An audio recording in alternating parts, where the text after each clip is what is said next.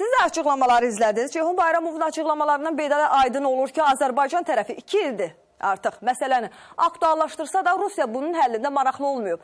Nazirin dediyini əldə əsas tutaraq ə, deyə bilərik ki, konkret sübutlara rəğmən niyə qanunsuz istismarın qarşısını almaq yerinə Vardanyan tərəfindən daha da sömürülüb və Rusiya tərəfi buna göz yumub?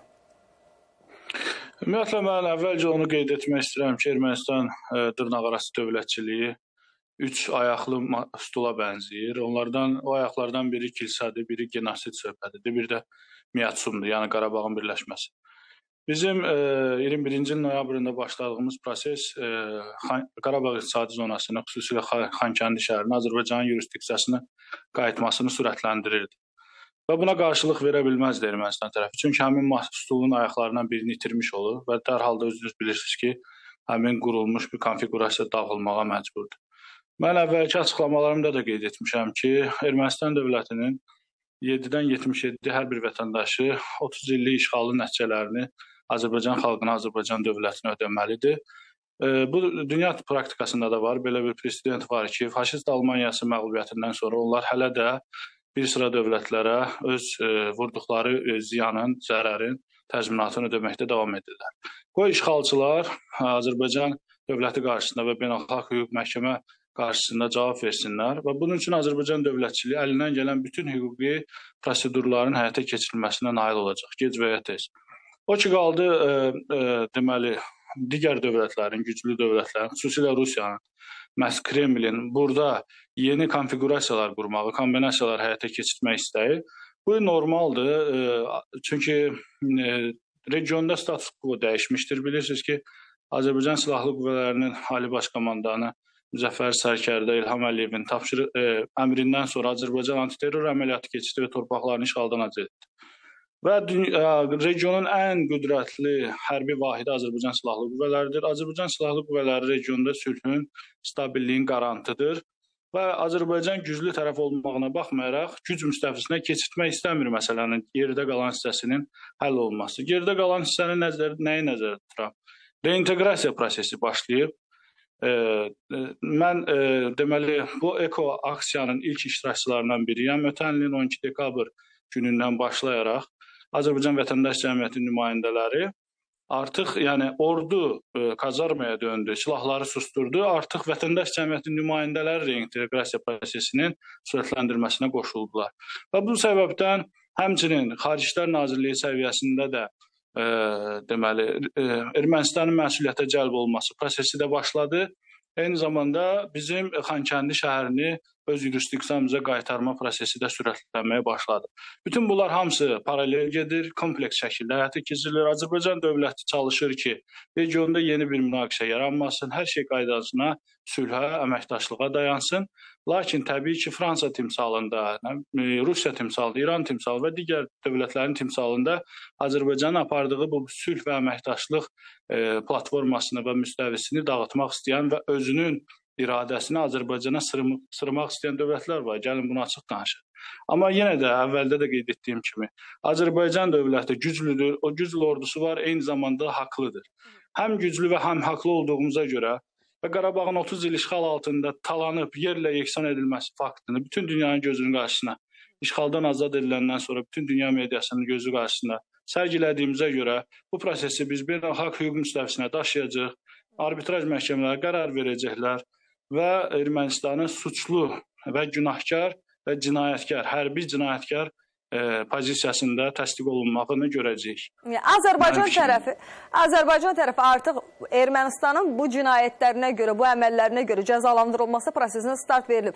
Bu məqamlara toxundunuz. Eyni zamanda az əvvəl də qeyd etdiyimiz kimi Rusiyanın burada öz maraqları naminə susması məsələsinə də toxundunuz. Mənim diqqətimi çəkən Ceyhun Bayramovun açıqlamasında həm də yenidən, daha doğrusu yenidən yox, bu hər zaman gündəmdədir. Qanunsuz erməni hərbiçilərinin ə, Azərbaycan torpaqlarında Bəli. mövcudluğu ilə bağlı və vurğu vurğuladı ki, yəni Laçın yolu üzərindən erməni hərbiçilər qanunsuz olaraq rotasiya ə, həyata keçiriblər. Özü 4 ə, istiqamət üzrə bunların hamısını xüsusi olaraq Ceyhun Bayramov vurğuladı və onun açıqlamasında Laçın yolunun ə, qan qanunsuz olaraq istifadəsində toxunduğu bir məqam var idi. 2021-ci il istehsalı olan nə qədər minanın ə, minanın həmin yoldan daşınması ilə bağlı və burada sual Ermənistanın öz öhdəliklərini yetirməməklə bağlı Rusiya tərəfinə də yönətmiş oldu. Yəni Azərbaycan tərəfi bu məsələdə kifayət qədər israrlıdır.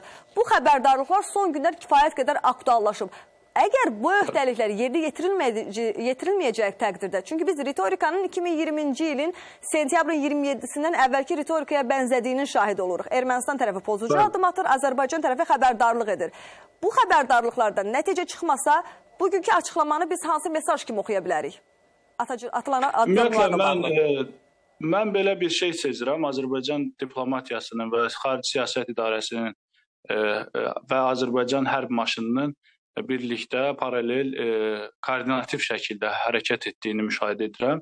Heç təsadüfi deyil ki, ötən ilin sentyabrında 12-13 sentyabr hadisələrində baş verən e, toqquşmalarda Azərbaycan bir daha dəmir yumruğun gücünü göstərdi və yerində olduğunu göstərdi və hazırlıqlı olduğunu göstərdi.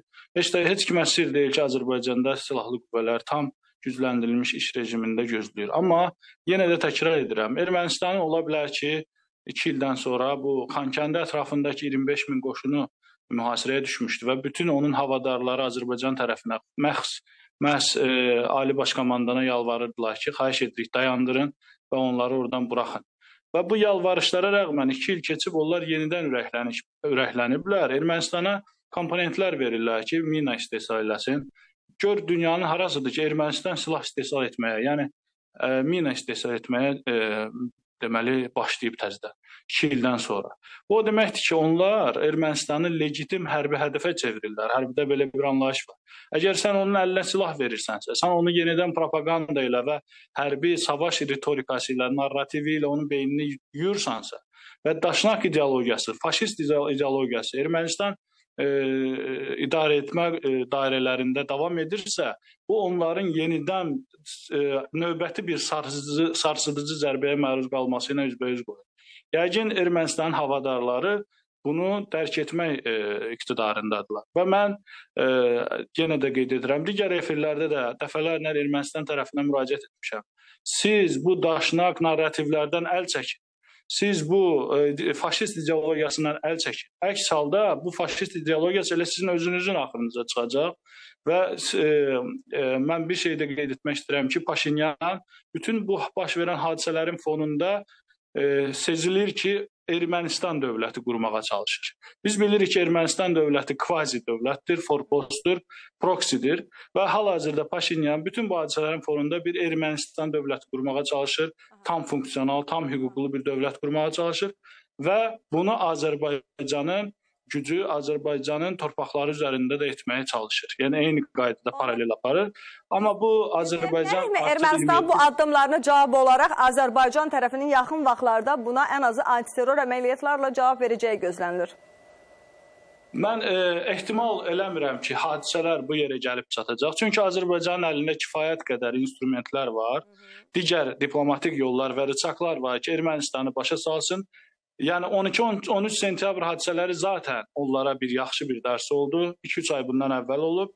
Azərbaycan tərəfi maksimum çalışır ki, bu hadisələr olmasın. Amma qeyd etdiyim kimi, mən ehtimal vermirəm, amma dünyanın işini bilmək olmaz. Status quo hər gün dəyişir, hər həftə dəyişir regionda və e, hər dəfə dəyişəndə də Azərbaycan tərəfinin mövqeyi daha da güclənir, pozisiyası daha da güclənir.